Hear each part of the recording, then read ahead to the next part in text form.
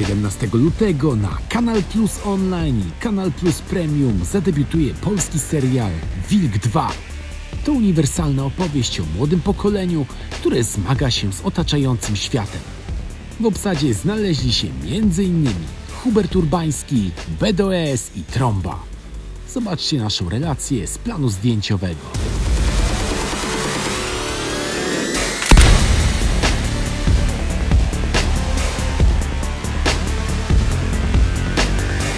Z powrotem się w postaci Janka z pierwszego sezonu, czy to jest zupełnie nowa postać? To jest tak naprawdę trochę na niedopowiedzeniu, e, bo ja jestem tutaj tatuatorem, a czy to jest Janek, czy to nie jest Janek, no to tak naprawdę jest e, do interpretacji widza. Jeśli chodzi o samą fabułę serialu, tego, e, o, o to, co się tutaj dzieje, to dla mnie to jest jakby mm, jakieś urzeczywistnienie wizji właśnie takiego buntu, że tak jak ktoś z nas ma jakieś różne odczucia, oglądając telewizję i mówi, że zrobiłby to, czy zrobiłby tamto, to to się dzieje tutaj, nie? I to też pokazuje wszystkie wady i zalety tego, że co jest w tym dobre, a co złe, no. No to nie zawsze jest, y, to nie jest zawsze białe albo czarne, nie? Ciekawi mnie, na ile doświadczenie zdobyte na planie licznych teledysków e, przełożyło się na to, co spotkało Cię na planie Wilka. Byłeś przygotowany? Okazuje się, że prawie w ogóle nie dało mi to przełożenia, bo na każdym kroku dostawałem nowe wskazówki, jak grać, na czym się skupiać. Oczywiście na początku troszeczkę się tym pocieszałem. E, Janek i Majki też mnie pocieszali tym, przecież e, jesteś ubyty z kamerą i tak dalej. Okazuje się, że w ogóle nie byłem, ale przez te parę dni, które spędziłem na planie, nabrałem naprawdę masę doświadczenia, przynajmniej w moim odczuciu. Maciej, w którego się wcielam, jest liderem młodych rewolucjonistów, którzy sprzeciwiają się dyktaturze, która obecnie panuje e, w tym uniwersum. On jest wilkiem, który ma swoją watachę, a ktoś właśnie wszedł do jego lasu i on z tym walczy. To jest podobno niewielka rola, ale jak mówią Amerykanie, pivotal, kluczowa. Także co możesz na jej temat powiedzieć, żeby nie wchodzić na pole minowe spoilerów? Jeżeli chodzi o tą moją rolę, to to jest po prostu taki smaczek dla, dla widza.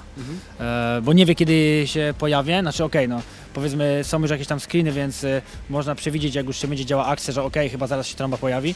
E, ale no na pewno jest zaskoczeniem, bo do tego ostatniego momentu nie będziesz wiedział kiedy w końcu będę ja, kiedy, kiedy to się wydarzy, co, co się stanie, a, a że mam tam właśnie dwie, ro- dwie, dwie jakieś tam kwestie, dwie sceny, no po prostu są to smaczki, a co będę spoilerował, nie będę spoilerował w sumie. Wcielam się w Igę, czyli w córkę Borysa, który jest y, ministrem spraw wewnętrznych, z tego co mi się wydaje. Iga jest 20-letnią dziewczyną, która mm, siedzi w złotej klatce i pomimo tego, że jest ona złota, wciąż jest klatką. I to jest taka dziewczyna, która, no jak dla mnie to jest taka postać tragiczna, bo z jednej strony bardzo by chciała się uwolnić, chciałaby mieć przyjaciół, chciałaby być fajna, ale z drugiej strony no, jest wychowana w takich realiach, a nie innych i i w tym serialu musi zmierzyć się z tym, co wybrać. I orientuje się, że nie ma półśrodków. Albo jest na maksa w złotej klatce, albo nie ma jej tam w ogóle i musi wszystko, wszystko być inaczej, wszystko upaść. Pytanie do e, ojca i aktora, który wciela się w ojca. Jakie Pan widzi na przykład punkty właśnie zbieżne między swoim pokoleniem, a na przykład pokoleniem tych młodych? Ale wszystko jest dokładnie tak samo. Tylko oczywiście dekoracje są inne, ale za każdym razem jest tak, że to, o czym opowiadamy w tym filmie, o, o takim, e, o młodych ludziach na progu dorastania, tak, w trudnych czasach, e, ale każde są trudne, od razu muszę powiedzieć. Te również oczywiście na swój sposób są specyficzne. To p- pewne bottom lines, takie fundamentalne rzeczy się nie zmieniają. Mega niepewność, mega strach, e, czy jestem wystarczający, wystarczająca, e, co będzie dalej, czy zostanę zaakceptowany, zaakceptowana, e, czy jestem dostatecznie dobry dla, czy dobra dla swojej grupy rówieśniczej, dla tego świata, który mnie po prostu nachodzi na mnie z każdej strony, jest opresyjny, wymagający, czegoś chce ode mnie. Jest to za każdym razem moim zdaniem tak samo. Ja mam akurat dzieci w dwóch grupach pokoleniowych, e, e, plus jeszcze, jeszcze pamiętam swoje dzieciństwo i dorastanie. I to wszystko moim zdaniem jest, jest tak samo. Jest tak samo piekielnie trudno, a jednocześnie są to schematy powtarzające się, powielające się. E, Wcielam się w Anię, jest to przyjaciółka Igi. Jest to bardzo fajna postać, też właśnie nie wiem na ile mogę tutaj powiedzieć, ale bardzo mi się podoba to, że jest wielowymiarowa.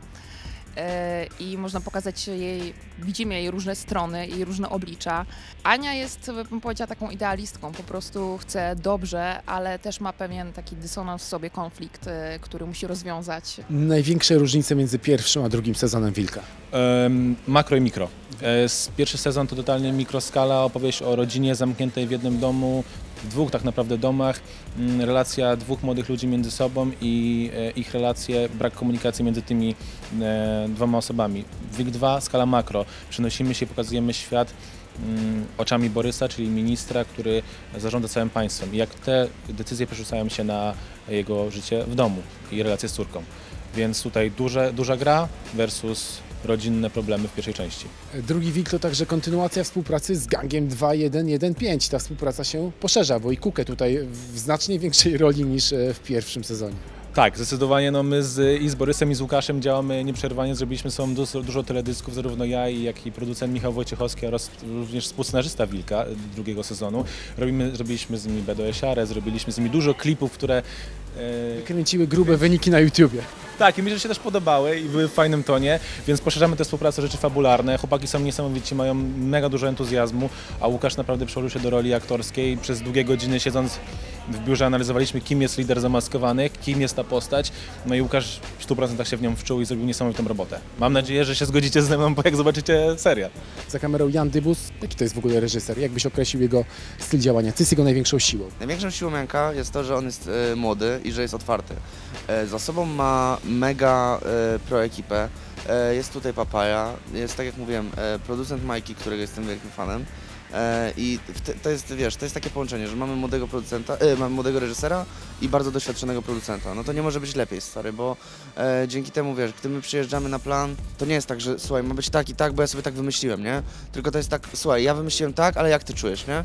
I, i wte- wtedy na tym pracujemy, wiesz, no to jest y, też niespotykane w branży, że jakby to, to nie jest tylko tak, że no cześć, zagrałeś, do widzenia, nie? Tylko to jest jakby nasz wspólny projekt, więc, y, więc y, to jest chyba największą zaletą Janka właśnie to, że ma wokół siebie mega profesjonalnych ludzi i że jest mega, mega, mega zdolnym i otwartym y, chłopakiem. Na ile praca nad e, filmami na kanale Ekipy, na Twój kanał przygotowała Cię do tego, co spotkało Cię na planie zdjęciowym Wilka? Nie przygotowała. Jak e, swego czasu nasz kochany Mini Mike e, nagrywał filmy scenkowe, czyli takie filmy właśnie, w których były sceny i były duble, trzeba było wszystko fajnie ustawiać, tło i trochę jak w filmie, tylko w dużo mniejszym budżetem, to, w- to mogło gdzieś tam przygotować. Doświadczenie na pewno jakieś jest, bo gdzieś tam ta kamera, ona może latać koło mnie, nagrywać mnie i mi to nie sprawia e, niczego gdzieś tam negatywnego, nie czuję się źle z tym, więc to na pewno daje, dało dużo, to, że przez te lata e, tyle się nagrywało, a tam trochę zapominasz o tym, że kręciłeś kiedyś filmik na YouTubie, tylko bardziej e, musisz się skupić i wziąć na klatę trochę coś innego, nie? A w takim razie, jak pojawiła się propozycja występu w Wilku? Dostałem info od e, jednego gościa, który tutaj w Papai e, pracuje, e, który jest moim znajomym. Reżyser chce się skontaktować ze mną, czy, czy, czy gid, żebym po prostu dał swój numer. Mówię, że nie ma problemu żadnego. No i zadzwonił Janek i pogadałem z nim przez telefon z 15 minut. Wszystko mi powiedział od początku do końca, a ja stwierdziłem, że fajnie jest zacząć sobie powolutku, jakaś mała rola, jakaś, jakaś potem większa, może potem jeszcze większa. Dla mnie to jest taki perfekcyjny, per, perfekcyjna droga, no bo nie ma co być od razu wrzuconym na głęboką wodę. E, Fajnie jest się rozwinąć i złapać trochę doświadczenia. Dlatego, e, jak powiedziałem, że nie ma problemu, mówiliśmy się na, na termin. No i grałem w tamtym tygodniu. Będę grał też dzisiaj, e, po tym wywiadzie. Także fajnie. Myślę, że aspektem serialu, na który wielu widzów będzie zwracać uwagę, będzie ścieżka dźwiękowa, na której będzie można usłyszeć nowe utwory gangu 2115. Czy pojawi się jakiś utwór specjalnie napisany na potrzeby Wilka? Pojawi się na pewno utwór z y, naszej płyty, z rodzinnego biznesu, który będzie miał premierę w grudniu. Pojawi się jeszcze utwór dedykowany temu serialowi. Będzie też tak samo utytułowany prawdopodobnie. Zostaliśmy o to poproszeni. Ja jak najbardziej uzupełnię, uzupełnię obrazek y, jeszcze tak, tak, jakąś dedykowaną właśnie piosenką. Bardzo chętnie to zrobimy. Jeszcze to nie powstało, choć powinno. Pytanie na koniec. Kiedy solowa płyta?